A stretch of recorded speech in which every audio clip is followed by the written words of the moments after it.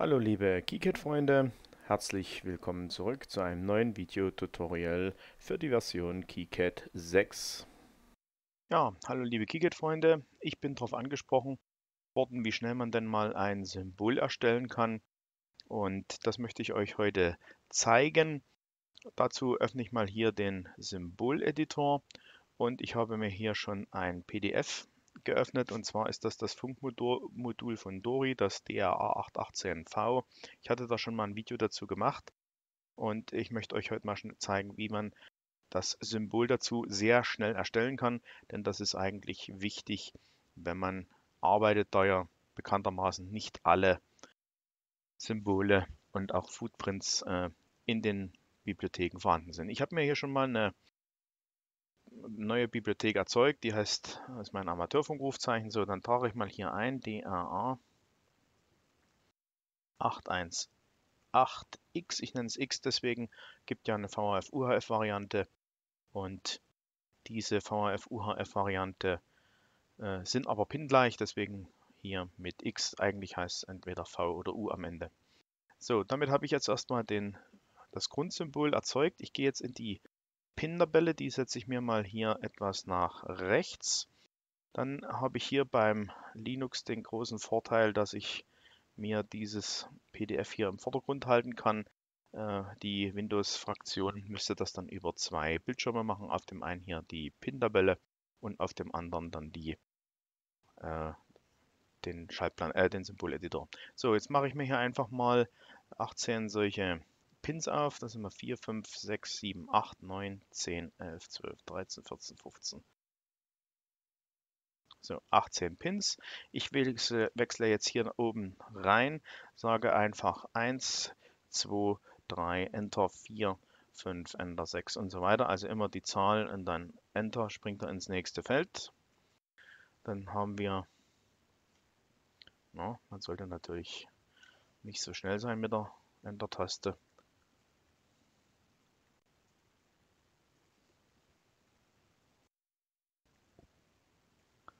So, 18 Pins, einmal zu viel geklickt, dann kann ich das hier über den ähm, Mülleimer wieder entfernen. Damit haben wir jetzt unsere Pin-Nummern und wir fangen jetzt an, anhand der Pin-Tabelle gleich hier unsere Pin-Namen zu vergeben. Da fangen wir mal an mit Alt-GR Tilde, geschweifte Klammer auf, geschweifte Klammer zu, Squelch. Das bedeutet, dass dann ein Überstrich dargestellt wird über den Buchstaben dann haben wir einmal NC. Als nächstes kommt AF äh, Output. Auch hier mache ich ein tiefer stellen. Das Out möchte ich tiefer stellen mit einem Unterstrich, geschweifte Klammer, öffnen, schließen. Und da schreiben wir das Out rein, dann wird das automatisch tiefer dargestellt. Dann haben wir wieder ein NC. Dann kommt die PTD. Wir haben den High-Low-Umschalter. Dann haben wir hier das HL, das ist äh, auch Active Low. Das heißt, wir müssen wieder mit einer Tilde, geschweifte Klammer auf, zu unser H-L einstellen. Nächstes ist dann die V-Bat. Auch das möchte ich tiefer gestellt haben, das Bat, an dem ich hier wieder mit Unterstrich geschweiften Klammern arbeite. Dann haben wir zweimal Ground, Die 11 ist NC. Dann haben wir die Antenne. Dann haben wir NC. So, versehentlich hier aufs Touchpad gekommen, geschlossen. So, äh, NC, NC, dreimal das Ganze. Dann haben wir noch den RXD und den T, TXD und Mikrofon in. Auch das möchte ich wieder hier das in tiefer gestellt haben mit Unterstrich. Schweifte Klammer auf zu und dazwischen dann das in. Wir gruppieren um nach Namen. Hier unten anschließen auf diese nach Namen gruppieren. Dann können wir hier rübergehen in den elektrischen Typ. Da haben wir die Squelch ist ein Ausgangssignal. Ähm, der, die NCs sind alle unverbunden. AF Out ist natürlich auch ein Ausgang. PDD ist ein Eingang. Auch das High-Low-Signal kann ich von außen mit einem Eingangssignal steuern. So, VBAT ist eine Stromversorgung. Die beiden Grounds sind natürlich ebenfalls Stromversorgung. Die Antenne ist ein Ausgang, da kommt ein Signal raus. RXT geht rein, TXT geht raus und Mikrofon ist auch ein Eingang. Damit habe ich jetzt äh, meine Pins hier über diese Pin-Tabelle zugewiesen und ich sage hier einfach OK. Ich lege mal meinen PDF ab, ich speichere mal kurz zwischen und wir haben jetzt hier unsere Pins. Was ich jetzt leider händisch machen muss, ist hier mal diese Pins unsichtbar machen, indem ich hier mit dem Mauszeiger drauf gehe und äh, die Taste E drücke. Also hier kurz E, dann komme ich hier in die Pin-Einstellungen. Das kann ich leider nicht anders lösen. Dann muss ich hier mal für diese nicht verbundenen Pins einfach das sichtbar wegmachen, damit wird es zum versteckten Pin. Wenn wir das getan haben, können wir jetzt äh, unsere Pins sortieren. Fangen wir an hier VBAT, Maus draufgehen, mit M ziehen und wir positionieren das hier mal so einigermaßen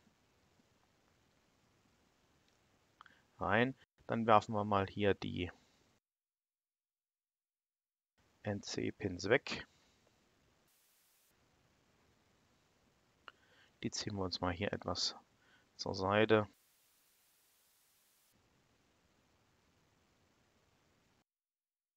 Und wir haben jetzt hier diesen NC machen wir auch nochmal. Über Kontextmenü Eigenschaften geht es auch entsprechend unsichtbar und bewegen den hier gleich mal aus der Ding raus. Dann haben wir hier AF Out. Die Ausgänge hatte ich ja gesagt, sollten wir eigentlich immer nach rechts zeichnen. PTT ist ein Eingang.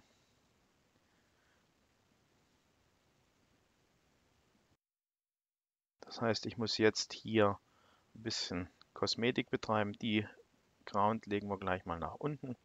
Die Antenne ist ein Ausgang.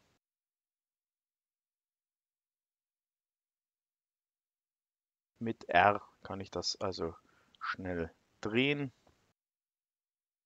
Haben wir hier das richtige Raster? Haben wir natürlich nicht. Müssen wir nochmal umsetzen, dass wir das hier auf das richtige Raster bringen. Das hätte ich auch gleich kontrollieren können. Müssen wir aufpassen. Passt da bitte entsprechend auf, dass ihr hier nicht in einem falschen Raster arbeitet. Ich empfehle immer das 1,27 mm Raster. Im Zweifel sollte es auch hier mit Rechtsklick, wie im letzten Video zeigen, äh, ja, Sie sehen was, hier kann ich es nicht machen. Hier muss ich wirklich alle Elemente einzeln machen. Ich kann hier also nicht am Raster ausrichten. Das funktioniert hier im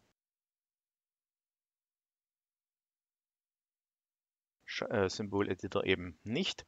So, dann schieben wir uns das hier nochmal so weiter ran. Damit hätten wir das Ganze. Ich sehe, ich habe mich hier nochmal vertippt. Dann gehen wir hier nochmal rein in die Eigenschaften. Dann sollten wir hier natürlich auch eine geschweifte Klammer machen und keine eckige. Und wenn wir das korrigiert haben, sehen wir jetzt hier auch den Überstrich oder diesen Strich über den Buchstaben. Dann schieben wir hier unsere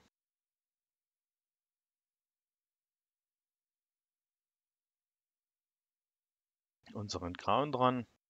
Machen hier noch ein bisschen Kosmetik.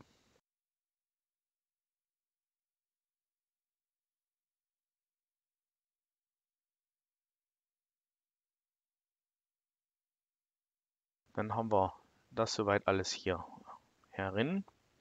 Dann schieben wir uns hier mal noch schnell die NCs nach drüben, positionieren die jetzt einfach hier nochmal etwas ab.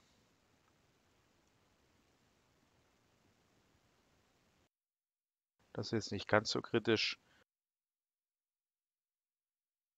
Die können sich jetzt hier auch überlappen. Sie werden ja im Schaltplan in der Regel eh nicht angezeigt, da ich sie ja hier als versteckte Pins abgelegt habe. So, also ich schiebe die jetzt hier mal einfach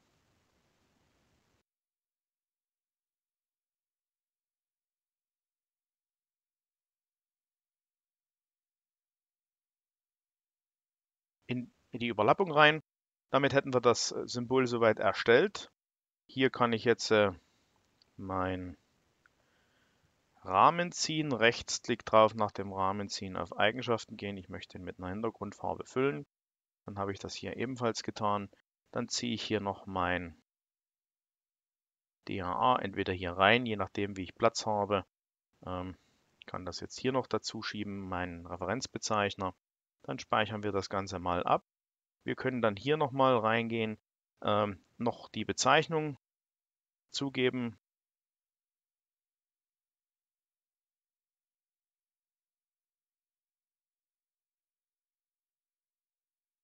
FM, Schlüsselwörter kann man hier Funkmodul vergeben, dann DRA 818.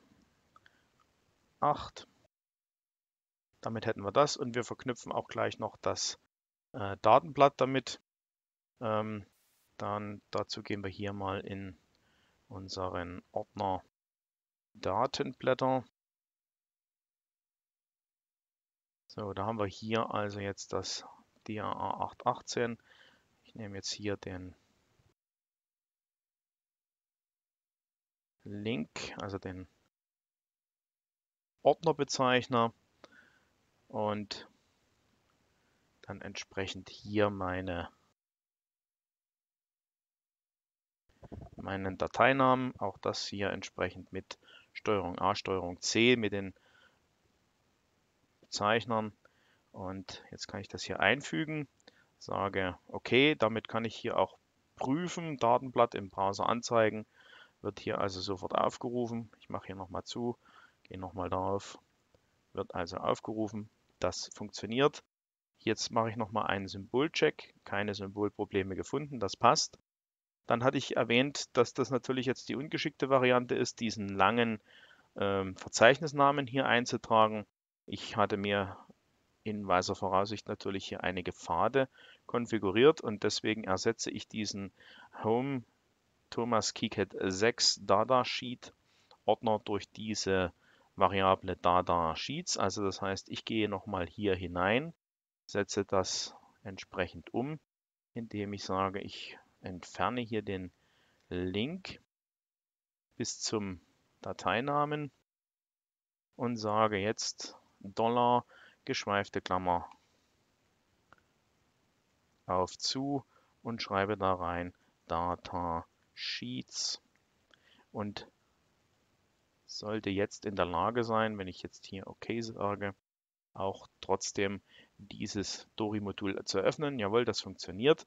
Das hat den Hintergrund, sollte ich mal diesen Ordner irgendwo anders äh, ablegen unter einem anderen Pfadnamen, kann ich hier einfach nur über die Einstellung Pfade konfigurieren, den Pfad in einer Variable hinterlegen, passe das einfach nur die Variable an und komme dann sofort wieder auf meine ganzen äh, PDFs. So, kurzer Nachtrag noch. Wer das Symbol hier in die Mitte positioniert haben möchte, wählt hier rechts den Anker-Button aus, setzt sein Fadenkreuz hier mittig rein, einmal klicken und damit ist das Symbol jetzt hier auf die Mitte verschoben und ich kann es speichern und wäre damit dann endgültig fertig. Beim Einfügen wird dann hier das Symbol mittig in dem Nullpunkt aufgehängt. Danke, tschüss und bis demnächst.